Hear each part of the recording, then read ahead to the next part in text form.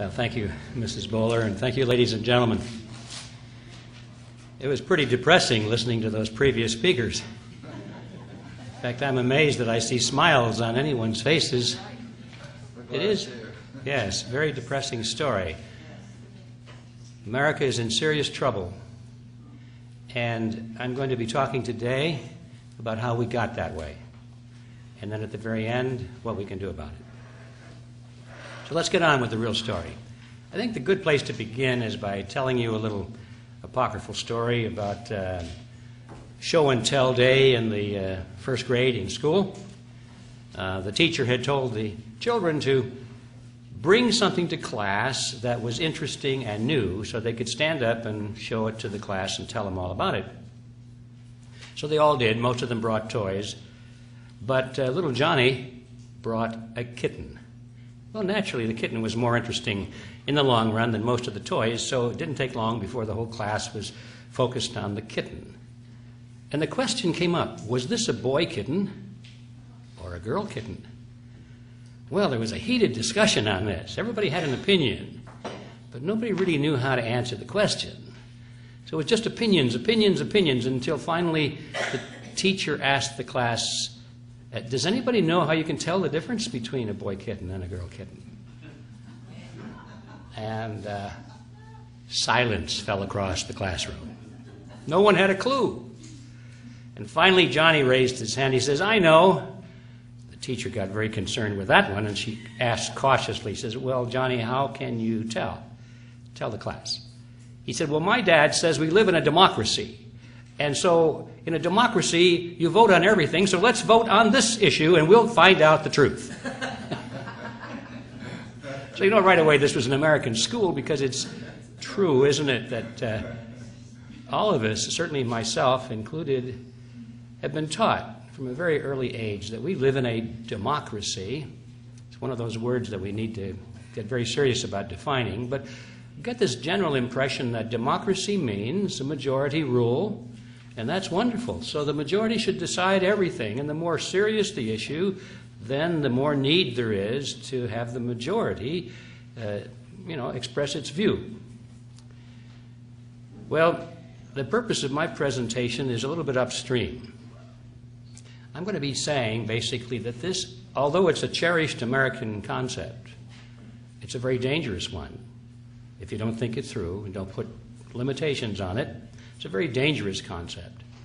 And as a matter of fact, it is the concept that is being used against the American people and people all over the world to their own detriment, to put them, in fact, into a condition of bondage, a condition in which they elect their own dictators and feel happy about it because they did it to themselves.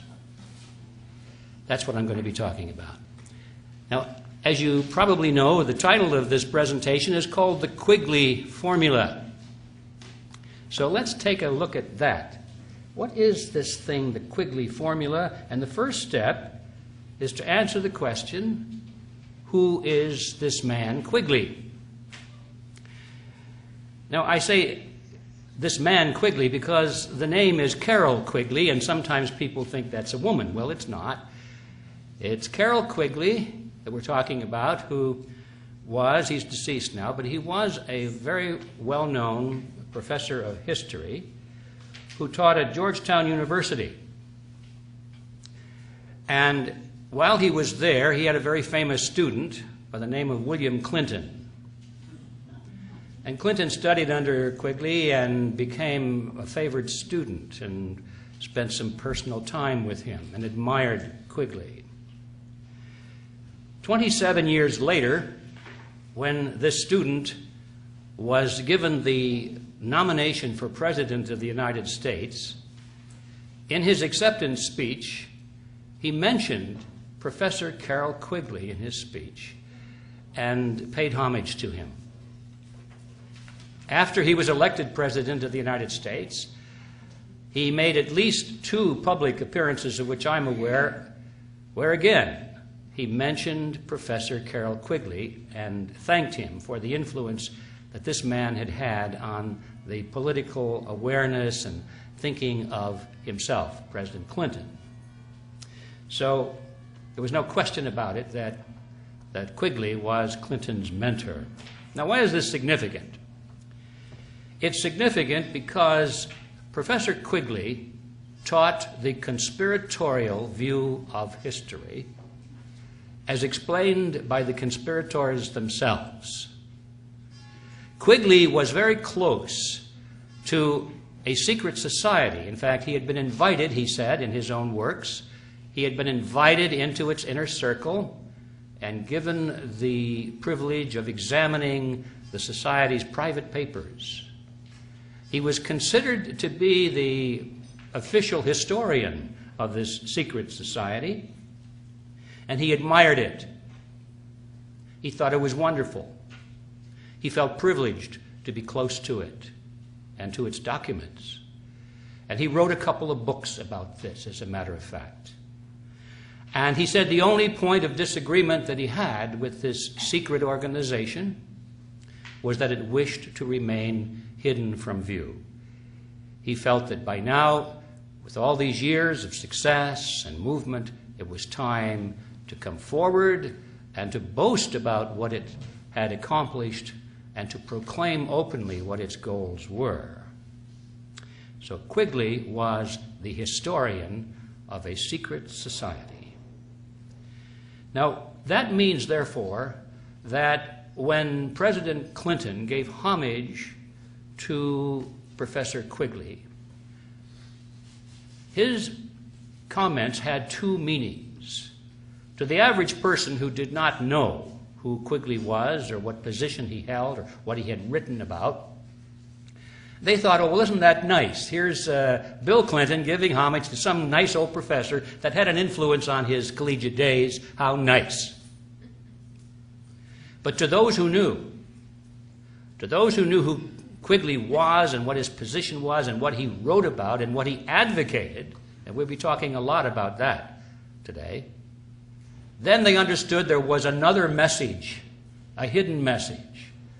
Clinton was saying he knew about this conspiracy and he was now in its service. That was a signal to everyone around the world who understood what the real meaning was. They knew that Clinton now was in the service of this secret society that we'll be talking about today. Now, I've mentioned the word conspiracy before. I'll probably be using it again several times today, and that causes some concern for a lot of people because it's kind of a knee jerk reaction for people to say, Oh, you believe in conspiracy? What are you, a, a conspiracy theorist of some kind? Well, I'm certainly not a conspiracy theorist. Uh, when people take that position, I have to laugh because I feel sorry for them. They've obviously never read a history book. Because anyone who knows anything about history knows that it's built on conspiracies from one end to the other. Conspiracy is the engine of history. Every major event in history, when you examine it, has come to pass largely as a result of at least one, and in many cases, many conspiracies. And it goes on today. These people have never sat in a courtroom and listened to lawyers try men and corporations on the charge of conspiracies. Conspiracies in corporations, conspiracies in families, conspiracies from top to bottom. Conspiracies are a fact of life. And for anybody to say that conspiracies are uh, absurd and that anyone who thinks that conspiracies are real is a conspiracy theorist has a real problem. I do not have this problem. I know the conspiracies are real, and we'll be talking about a very real conspiracy today, and we'll document it with the words of the people themselves who are involved in it, and they're very proud of it. So, but let's not drop the word with that. What is a conspiracy? The dictionary defines conspiracies generally as having three components. If you have three, these three components, then you're dealing with a conspiracy. First, it has to involve two or more people. Secondly, it has to use tactics that are either uh, immoral or at least coercion. And thirdly, the objective of these tactics has to be illegal or immoral. All right, that's generally the definition of a conspiracy. So let's take a look before we get into the details of the conspiracy we'll be talking about today and just look at the surface. First of all, will there be two or more people involved? And you bet there are many people involved. Certainly not the masses, but a lot more than two. So we can check that one off. The second part is do they use deception or coercion? And yes, indeed, they boast about it, as a matter of fact, saying that the masses are so stupid that you have to fool them for their own good. And you have to pass laws to use coercion in order to force people to do what they want. So, yes, you can check that one off. They do use deception and coercion. But now we come to the third issue Is the objective illegal or immoral? Well, it's certainly not illegal in most cases because we'll find out in a moment, as you folks already know. These are the people that make the laws. So what they're doing is entirely legal because they made it legal. They hold the powers of political power, legislative power, executive power, judicial power. And so what they're doing is not illegal. If they're going to merge, let's say, merge the United States, or let's say get rid of the United States and merge what is left of it with Mexico and Canada in a North American Union, for example, just one of many things we could talk about, it will be done entirely legally. It'll be done with no objection from Congress. The courts will uphold it. And they'll figure out all kinds of ways to, to justify it as a legal move. So it's not illegal in most cases, although sometimes they do resort to illegal measures, but that's very rare. That leaves finally the last issue is it immoral or unethical? Now, in the minds of these people, it is the highest morality. They think that their goal is the highest morality possible. They are working towards what they fondly call the New World Order. In their minds, that is the ultimate morality. And it's people like you and me who are the immoral ones, the idiots that think that national sovereignty has some kind of value in this modern world. We are the ones standing in the way of progress we are the ones standing in the way of the happiness of mankind. We're the ones that are for, for all kinds of uh, injustice. We are the ones that are immoral, you see. So, in their minds, they're very moral in everything they do. And the end justifies the means. If they have to sacrifice individuals or minorities or large numbers of people to achieve this wonderful goal, it's an act of honor. It's an act of high ethics.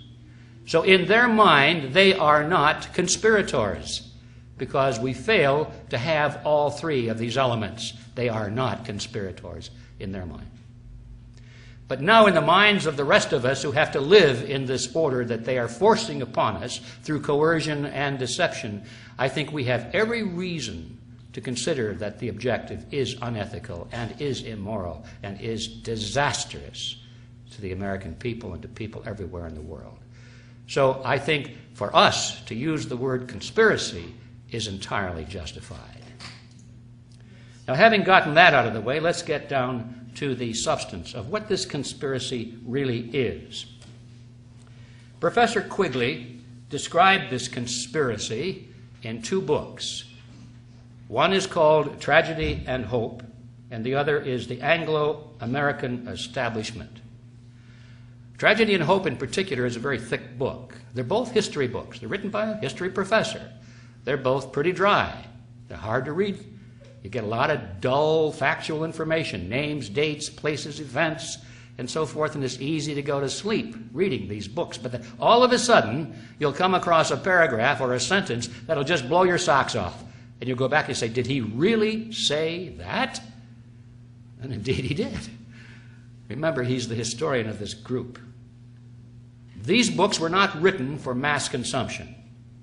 They were written primarily for academia and for people who were involved.